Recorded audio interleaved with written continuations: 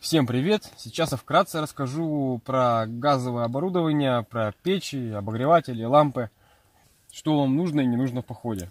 Но начать хочу с первого. То есть, если вы всерьез собрались ходить в зимние походы, газовое оборудование замечательно, оно хорошо согревает, с ним действительно тепло зимой. Но начну с того, что ориентируйтесь в первую очередь на собственную подготовку, на собственную одежду, на спальники, на хорошие спальники.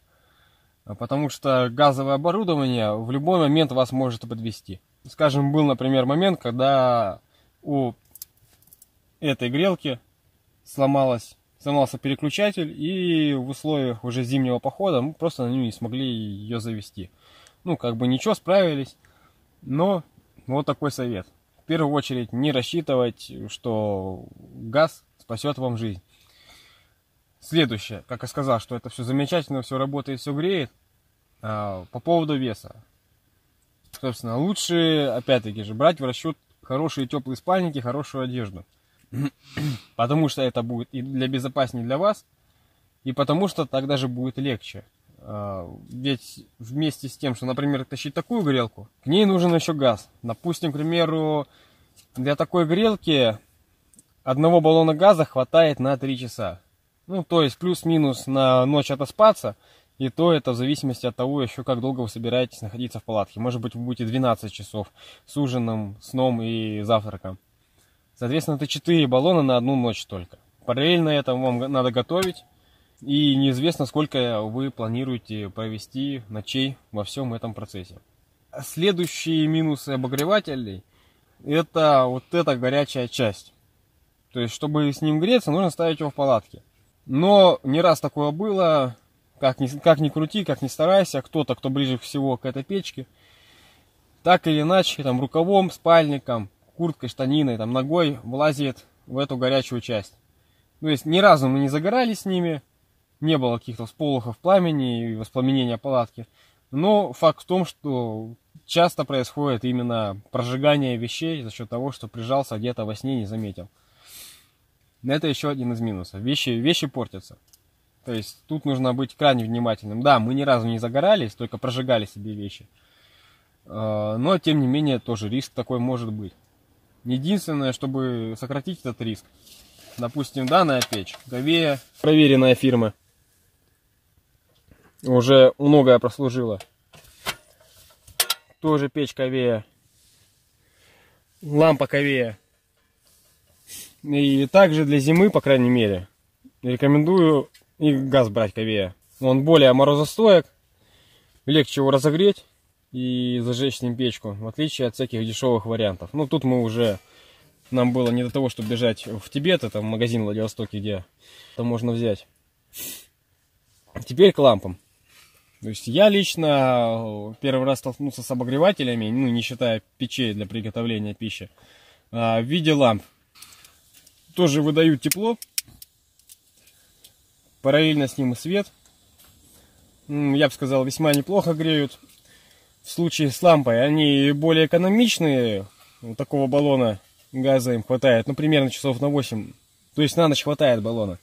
Но и тепла, соответственно, они дают гораздо меньше. Плюс конкретно уже холодной зимой одной лампой вам не обойтись. Потому что температура в палатке будет гораздо ниже возможности газа не замерзать. То есть газ, газ в баллоне замерзнет, соответственно печка потухнет, соответственно тепло прекратит согревать и палатку, и, и баллон газовый. Поэтому, чтобы это работало зимой, нужно как минимум две печки. И уже они смогут создать ну, какую-то более теплую атмосферу в палатке. Ну что, конечно, все-таки приятно, когда можно вылезти из теплого спальника и при этом уже как-то собраться, что-то сделать, и у тебя не отмерзали пальцы. Но нужно их иметь как минимум две. Сейчас для образца у меня двух нету. Вторая уже давно была разбита. И в качестве дополнительного, скажем так, полезная вот такая самодельная вещь, такая титановая пластинка, отражает тепло от лампы вниз. Ну, сейчас в условиях, когда работает эта печка, в принципе, довольно-таки тепло. Тоже обратите внимание, вот сейчас она подвешена на металлическую проволоку. Забыл с собой, просто не взял. Кожаная ленточка на которую я уже вешаю ко всяким палаточным веревкам. Потому что, когда вот эта вся цепь нагреется, ну, вы можете поймать затылком эту лампу. Не загорались еще ни разу, но, скажем, что касаемо плохого опыта, да, и падали, и ловили их, собственно, когда висели они чисто на металле.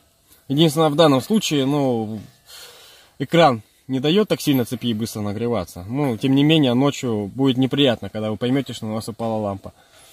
Ну и в случае, почему рекомендую брать именно Кавеевский газ, не, ну, не знаю, что это, по пути зашли, что попало купили. Скажем, зимой, когда плохой, когда газ в принципе замерзает и плохо горит, а если это еще и дешевый газ, то он даже не то чтобы горит, он начинает э, протравливать наполовину, и уже сполохи пламени происходят не там, где они должны быть, а где-нибудь вот в случае с лампами выше. Ну, вот уже был один плохой опыт с плохим газом. Лампа зажглась, ну и полыхнула, прожгла вот эту всю сеточку. Ну, тут уже другая ткань сверху, так что не суть важно. Но тоже такое может быть. Ну, надеюсь, кратко и понятно. Ну, а теперь, что касаемо обычных печек, 5 ЖКВ, уже старая, уже убитая, уже многое пожила. Я даже скажу, я не первый ее хозяин, мне друг ее отдал, я свою прошлую сломал. Зимой, опять-таки, зажигалка всегда может замерзнуть, намокнуть и просто не, не зажигаться. Ну, сейчас все хорошо, более-менее. А вот такая штука в плане вот так, той же самой газовой печки вас очень хорошо подстрахует. То, что баллон газа с лампы взорвется и загорится, можно не бояться. Что касаемо ламп. То есть, э, чтобы зимой они работали и давали хоть какое-то тепло, нужно их как минимум две. И можно не бояться. То есть, в нашем случае там висело две, три, одна рядом тут, другая там чуть пониже плотничковым баллона. Баллон, чтобы нагреть и взорвать, и взорвать, очень тяжело. А лампа в условиях зимы, холодной палатки, такой, такого, такой температуры далеко не даст. Но единственное, собственно, все вот эти ковейское оборудование, оно рассчитано на резьбовые баллоны, то есть не стандартной цангой, а с резьбой. Здесь переходничок. Да и в принципе даже с резьбовым баллоном как бы следить за тем, чтобы несколько вот этих ламп, и одна из них не, естественно, не прижималась к какой-то пластиковой части. Здесь прокладка резиновая, чтобы вот эти вещи не перегорали. Иначе тогда будет большой бум. Ну и что касаемо зимы и газа. Зимой газ замерзает. Газ лучше держать в тепле. То есть там начали ставить лагерь, ставить палатку. Баллон, который должен быть уже заряжен, достали. Сунули где-нибудь под куртку, под кофту, чтобы он уже нагревался, чтобы, чтобы он горел. Что касаемо лампы, ну, в принципе, приобретение довольно-таки полезное за счет своей экономности, компактности, легкости. А, даже в теплое время года, во время дождя на кемпинге, как ни крути, тепло оно все равно дает. И весьма хорошо убирает, просушивает лишнюю влагу, которая скапливается под тендом у палатки. При этом еще дополнительное освещение, как ни крути.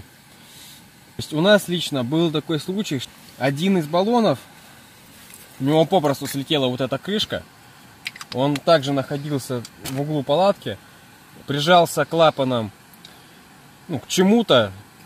И в течение всей ночи зимой потихонечку травил, травил, травил, травил. В итоге на утро мы такие больные просто проснулись. Ну, как из такого с лютого будуна. Так что тоже имейте в виду, что можно еще и вот так себя подставить. Не только с огнем, но и просто обнюхавшись этим газом. Рекомендую пользоваться именно газом Ковея зимой. Да и летом на самом деле тоже. Все эти печи гораздо лучше работают с ковейским газом. Ну а теперь будем кипятить чаечек, готовить кушать и готовиться ко сну.